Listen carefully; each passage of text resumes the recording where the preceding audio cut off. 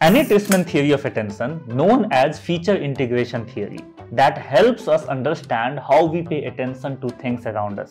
Imagine you are in a crowded hall trying to find your friend. You scan the room, scan that particular hall, looking for their distinct feature like their red hat or their tall physique. Treisman's theory helps explain how your brain processes these features and how you find your friend among that particular crowd.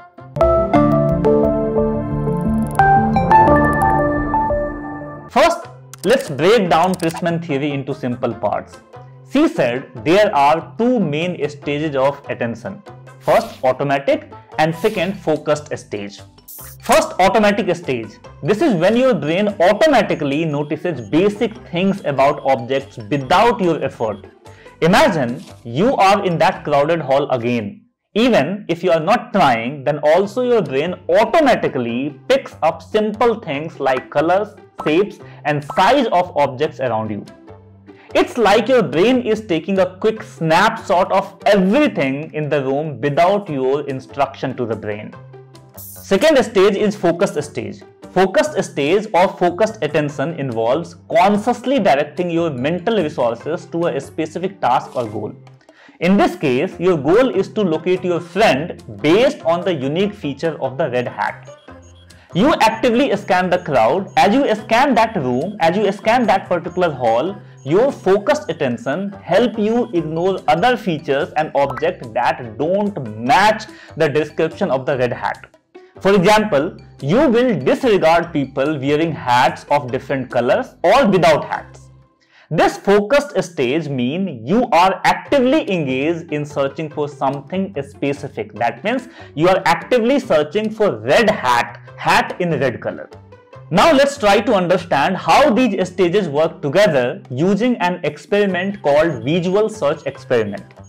In this experiment, researchers presenting bunch of objects to participants on a screen and ask them to find a specific target object.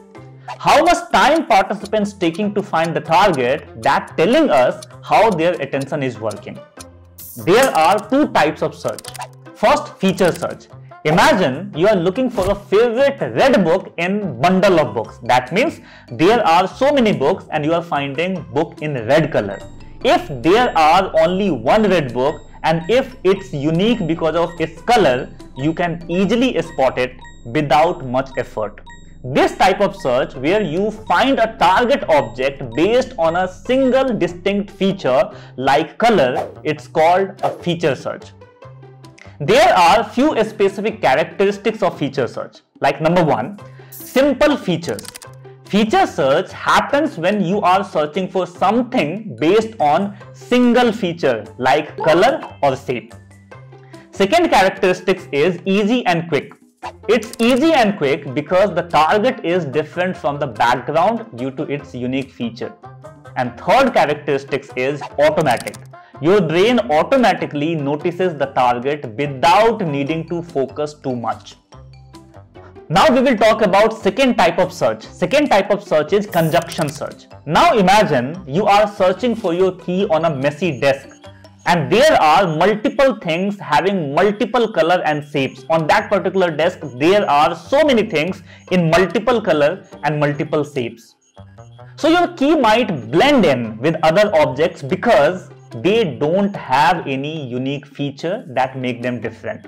In this case you need to use conjunction search. This means you have to look for the target based on combination of features like colors and shapes for example, you might find your key ultimately by focusing on object one by one, but it takes more effort and time than finding the red book.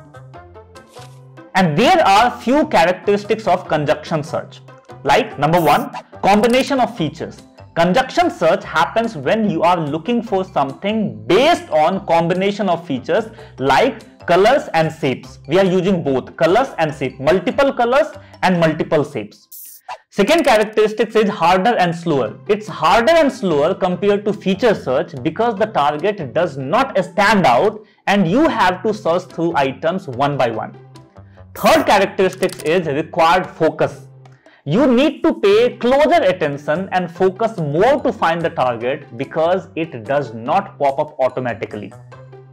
Treisman theory help us understand why it's easier to find things when they stand out, like the red book among silver laptop, compared to when they are similar to other things, like the red book among red laptop. When things stand out, our brain automatically notices them. But when things are similar, we need to focus our attention to find them. Now let's talk about how our brain put all these features together to form a complete picture of that particular image. Imagine you are looking at a car. Your brain automatically notices its color that is red, its shape, round wheels, rectangular body and so many other features. Treisman's theory says that our brain first pick up these individual features separately.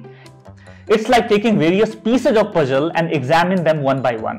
But how does our brain put these pieces together to recognize the car as a whole?